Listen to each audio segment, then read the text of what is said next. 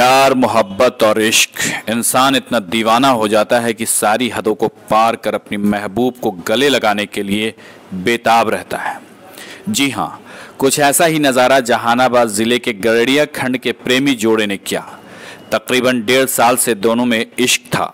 दोनों चोरी चोरी चुपके चुपके मिला करते थे और मोहब्बत को परवान चढ़ा रहे थे।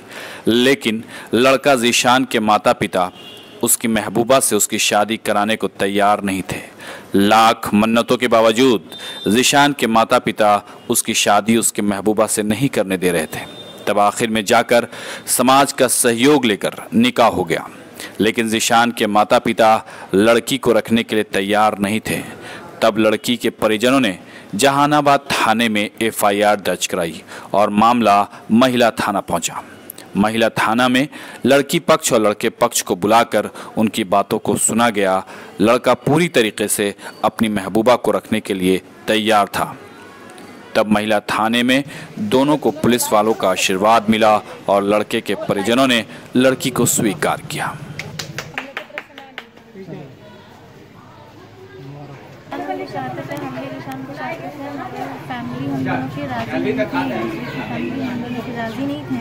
नहीं चाहते कि हम दोनों का शादी हो फिर हम लोगों को नौकरी थाना में आने की महिला थाना में हम लोग आए फिर मैडम हम लोग को समझाई सर समझाए हम लोगों को और डॉक्टर अनवर साहब भी बहुत समझाए हम दोनों को शादी करना चाहिए फिर दोनों फैमिली को समझाए हम दोनों को समझाए फिर दोनों लोग मान गए तो हम लोगों शादी हो गई थाने में शादी हुई जी अभी हम लोग महिला थाना में हैं और महिला थाना में ही मैम के प्रयास से और डॉक्टर अनवर साहब के प्रयास से यहाँ हम लोग का विवाह संपन्न हुआ मतलब शादी हुआ। तो क्या आप लोग मतलब क्यों आखिर यहाँ थाना में शादी करने की नौबत क्यों आई? बस कुछ लोग मतलब बहका दिए कि नहीं करना ऐसे वैसे। मतलब बहुत से लोग होते हैं बहुत तरह के विचार बोलते हैं अपना।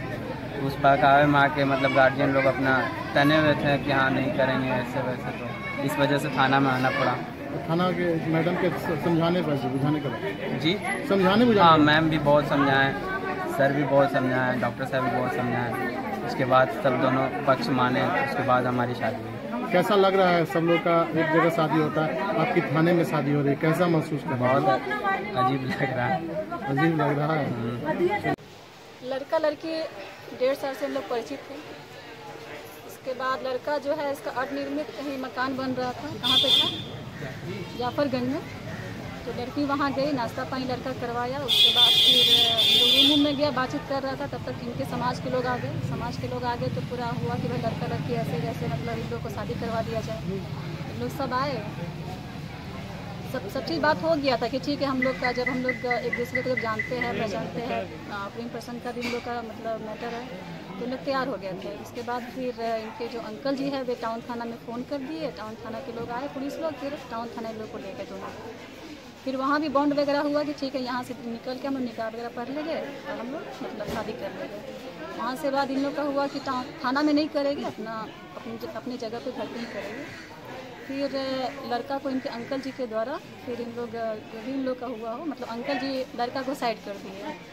लड़का, इन लोग, लड़की पक्ष लोग, इन लोग वेट करते रह गए और लड़का के अंकल जी कह रहे थे कि ठीक है, आ रहा है, लड़का आ रहा है, खाना खा रहा है तो ऐसे वैसे बहाना करके इन लोग डिलो डिले होते गया, उसके बाद मैटर आया, महिला में। हम लोग अपने इस तरह से इन लोग को पहल किए, इसके अंकल जी को, इसके फादर जी को बुलाए। लेकिन उस समय तक हुआ कि नहीं, लड़का नहीं करता है। जो भी वो प्रेशर में उस उसमें कहा, कहते रहा कि हम मतलब शादी के लिए इसके अंकल ही कहते रहे कि शादी के लड़का इच्छुक नहीं है, जो एक तरफा है। इसका हम लोग केस रजिस्टर कर, करना पड़ा उनतीस बीस इसका केस नंबर है। फिर दो चार दिन के बाद छब्बीस को केस हुआ इसका। फिर दो चार दिन के बाद फिर हुआ कि नहीं हम लोग इसको इसके अंकल जी भी प्रेशर बनाते रहे।